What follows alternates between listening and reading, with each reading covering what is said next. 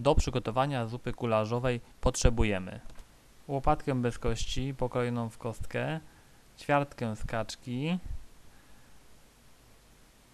trzy ząbki czosnku, dwie marchewki, jedną pietruszkę, trzy papryki oraz jedną dużą białą cebulę.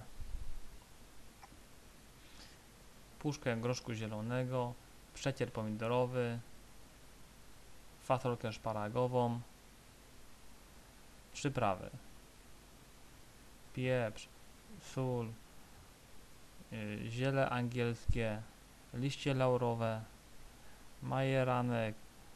Y, oraz y, paprykę ostrą. Czas potrzebny do wykonania tej zupy to około godzina 20.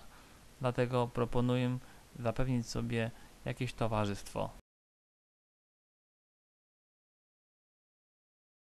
Zanim na łódku ugotujemy wywar, zdejmujemy z niego skórę.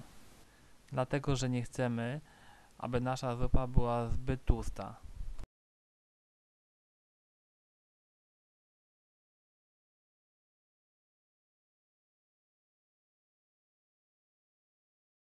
Jeżeli w domu mamy litr bulionu, wtedy możemy pominąć czynność gotowania wywaru z kaczki.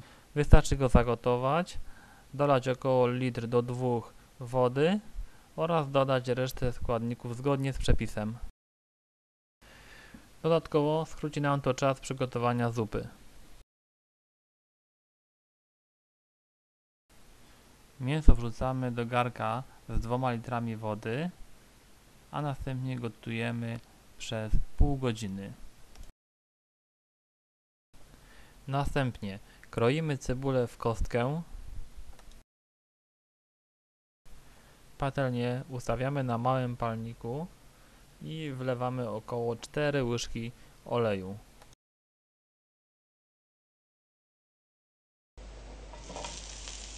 Gdy olej się już rozgrzeje, dodajemy pokrojoną w kostkę cebulę.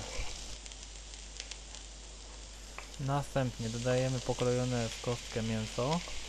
W dalszej kolejności wyrównujemy i dusimy pod przykryciem. Następnie wszystkie warzywa kroimy w kostkę.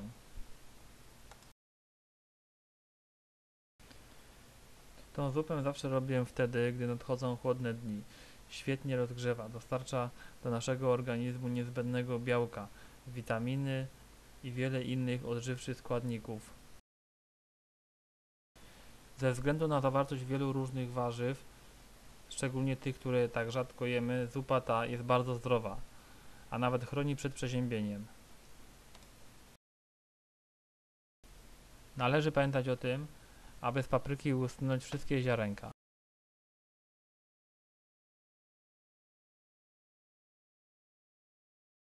Do naszego bulionu dodajemy ziele angielskie, liść laurowy oraz łyżeczkę soli. Co parę minut należy zdjąć pokrywkę z patelni i przemieszać mięso. Z bulionu należy wyjąć mięso z kaczki, pokroić w kostkę i przełożyć na patelnię.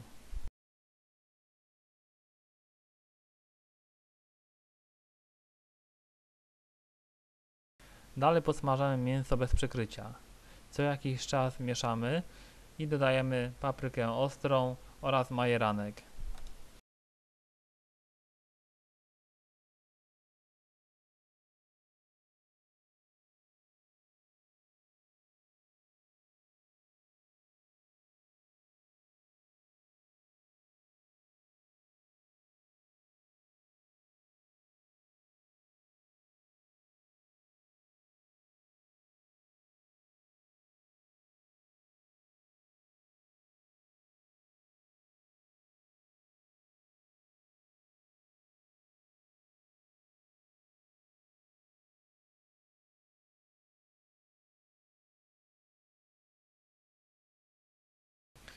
Mięso przekładamy do naszego wywaru.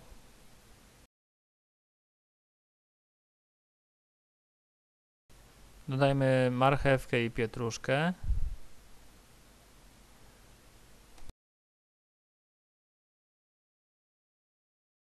Po 20 minutach dodajemy paprykę,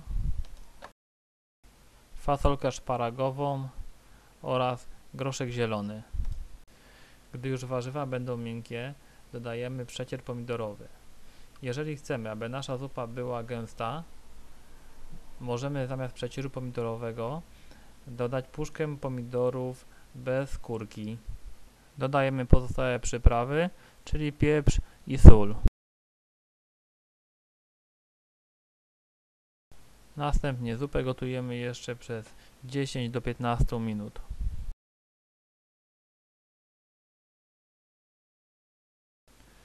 Zupa gulaszowa wspaniale nadaje się na różnego rodzaju uroczystości, nie tylko przez jej niezwykłe walory smakowe, ale przede wszystkim przez to, że jest bardzo kolorowa i pięknie prezentuje się na talerzu.